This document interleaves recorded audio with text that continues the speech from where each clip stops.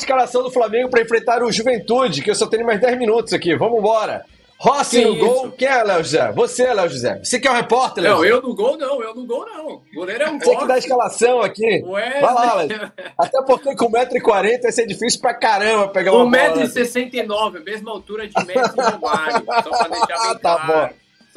Então eu cresci uns 10 centímetros nos últimos anos, mas beleza, vamos lá. Provável escalação do Flamengo para amanhã. Tem, lembrando que esse é o time que treinou hoje, tá? Na terça-feira. Goleiro Rossi, Wesley, Fabrício Bruno, Léo Pereira e Ayrton Lucas, Léo Ortiz, Gerson e Lohan. No ataque, Vitor Hugo, Luiz Araújo e Pedro. A novidade é o Léo, o Léo Pereira passando para a zaga junto com o Fabrício Bruno. Ayrton Lucas segue na lateral esquerda. Lembrando que o Davi Luiz volta para o banco de reservas. Meio de campo é o mesmo dos últimos jogos, Léo Ortiz, Gerson e Lohan. E no ataque, o Vitor Hugo entra no lugar aí do Bruno Henrique. E Cara, o Vitor Hugo não é no do, ataque, do né? Ele vai fazer uma meia ali junto com o Gerson, talvez, tal. Vai, vai, vai oscilar Ele não é atacante, né? É, vai, vai, vai, vai migrar bastante, né? Ele vai fazer, vai momento, em momentos ele vai ficar como meia e em momentos ele vai fazer como atacante. No, com o Tite, o Vitor Hugo vem jogando de fato como ponta. Vem de fato como ponta. Mesma função do Gerson, por exemplo. Cara, e aí? e o Matheus Gonçalves? Vai onde? Bom. Matheus Gonçalves entra, né? Não entra. Banco, banco de reservas, essa, banco de reservas. Essa foto, essa foto aí do Lohan é brincadeira esse foi. não é, Wesley? Ele tava esse... com esse cortezinho aqui, eu não lembro dele com esse. Não, é, foi, foi, foi, coisa, foi coisa só de. Foi, eu acho que foi depois da, da, da Libertadores Sub-20 que foram campeões. É, a galera gosta sempre de fazer uma graça, né? E foi bem no momento que, bem no dia que caiu o Media Day do Flamengo aí. Deu isso aí. Pô, era raspar Sapata... a cabeça, meu irmão. Essa pataquada aí. É, puta merda. Ó, mas, mas, tem uma, mas tem uma vantagem, né? O time tem mais corpo de meio de campo, assim. Se precisar, tem mais jogadores que atuam como meias, que sabem conduzir bola. E o Vitor Hugo é um cara desse, né? Um cara Agora, mais de condução. Ele, ele poderia fazer ali, por que, que ele não investe? Coloca o Gerson, coloca o Gerson no lado direito, joga o Luiz Araújo pro esquerdo e coloca o Vitor Hugo como segundo homem no meio, pô. Vitor Hugo sabe jogar por ali. Ele cismou, aí é uma coisa. O Vitor Hugo, que sempre jogou por dentro, para ele, ele, chegou a pedir desculpas ao Vitor Hugo já. Ele pediu é, desculpas Hugo, foi. botei ele para jogar no lugar errado, e o Vitor Hugo tinha jogado no meio. que jogar pelos lados.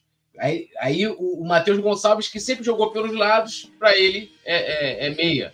Então, assim, eu, eu sinceramente não entendo. Teria feito diferente ele se essa for a escalação dele adiantaria o Gerson, inverteria o Luiz Araújo, não sei o quanto isso o prejudicaria, né? Porque eu já falei, o Luiz Araújo ele tem uma, uma jogada muito característica, que é geralmente é, busca o mano a mano ali, corta, corta por, por dentro, né, para a perna esquerda, para buscar a finalização.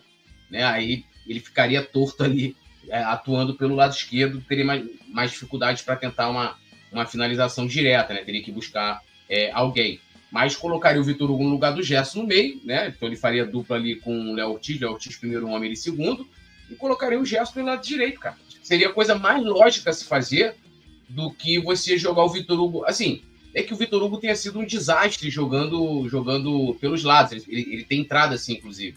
Mas, sim, eu, eu iria naquilo que time que tá ganhando da igreja né? time que tá ganhando não se mexe. Pô. Eu iria sim. Ou então optaria pela entrada do Matheus Gonçalves, ao invés de, de colocar o Vitor Hugo ali. Mas o Tite tem essas, essas visões aí, né? Um pouco diferentes da gente, né? Exato. De, e além disso, o Léo Ortiz ali, é, voltando ali para o meio, o Léo Ortiz ele está fazendo uma função muito boa ali de volante, ele está fazendo muito bem a função, quer dizer, como volante, o Tite está gostando bastante disso, está tá sentindo essa confiança do Léo Ortiz. Lembrando que o Flamengo não tem o Eric Pulgar e não tem o Igor Jesus para esse jogo, né? Como a gente falou aqui mais cedo. Então o Léo Ortiz acaba que segurando a bronca de novo. No jogo passado, no jogo passado contra o Fluminense, o Léo Ortiz a gente até gravou. O Léo Ortiz, quando ele sai, quando ele é substituído no segundo tempo, ele é bastante aplaudido pela torcida. Então a torcida também está entendendo esse momento do Léo Ortiz. E na zaga, na zaga, o Flamengo volta a ter a dupla que a gente pode considerar como titular em maior parte da temporada, com o Fabrício Bruno e o Léo Pereira. Isso porque o Davi Luiz ele teve as dores lá no joelho contra o Fluminense, ainda no primeiro tempo. Já está curado dessas dores, já não tem mais nenhum problema, mas o Tite preferiu manter uma cautela e deixar o Davi Luiz no banco de reservas. O Davi Luiz que vem sendo o papel, é, vem tendo um papel fundamental nesse Flamengo durante o período de Copa América, né? Porque além de é, é, porque além de marcar gol, além de ser fundamental dentro do campo, o Davi Luiz ele está sendo aquele cara que consegue motivar o elenco, consegue fazer aqui todo aquele discurso de superação, consegue tranquilizar os garotos que estão entrando para resolver problema. Então o Davi Luiz ele está fazendo todo um papel de, além de jogador, ele está fazendo um papel de conselheiro, de psicólogo, de, de, de pô, o cara está fazendo, está se desdobrando em diversas funções, mostrando que ele tem função não só dentro de campo, mas principalmente nos bastidores, né? Que é tão importante quanto. Sim. Tão importante quanto. É, É, o o time não tem muito onde correr, né? Não tem muito. Aliás, ali, com relação a. é, para o lugar do, do, do, do Cebolinha, barra Bruno Henrique ali, eu acho que ele tem opções para trabalhar melhores do que o Vitor Hugo por ali, na minha opinião. Eu acho que eu não entraria com o Vitor Hugo por ali, mas vou dar um voto de confiança pro Tite, né? E né, indicando aí pro Matheus Gonçalves, de fato, procure outro clube, senão você não vai jogar. Com o Tite no Flamengo, você não vai jogar. Ó, eu acabei de é, retweetar aqui, galera que não gosta do Twitter, compartilhei ali a informação sobre o Matheus Gonçalves não ser aproveitado e os empresários dele quererem arranjar um outro clube para ele. Eu falei, o que será que acontece com o Matheus Gonçalves no Flamengo? Gui Valim, membro do Clube Coluna, me respondeu lá no Twitter e falou: não joga nada. Não, discordo. Não, ele joga, ele joga uma bolinha para pelo menos receber, pelo menos para ter chance, né? Uma Sim. coisa é o cara tem chance, tem chance, tem chance, não corresponde, não corresponde, aí é uma coisa.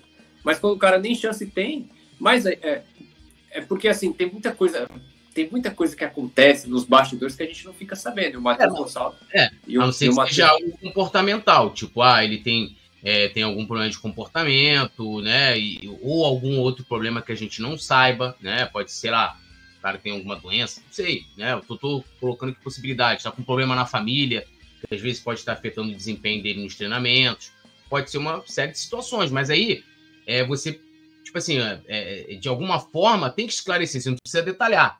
Vai falar, olha, o Matheus Gonçalves não joga porque há questões extracampo, né? Ou há um problema né, na família dele tá Na afetando- semana passada, no, no jogo passado contra o Bahia, o pessoal perguntou na coletiva sobre o Carlinhos, né? Por que que o Carlinhos não vinha sendo relacionado? O pessoal até tinha é, é, uma, uma, uma galera. Uma, perdão, galera. Um pessoal da imprensa colocou até que era questão de opção técnica e tal, mas o pessoal perguntou na coletiva e o Matheus Bach, na época, ele disse que não era questão técnica. Ele tava, o Carlinhos estava com problema de saúde, tava com problema na família, tanto que até dois dias depois desse, desse jogo a mãe dele chegou a falecer, né?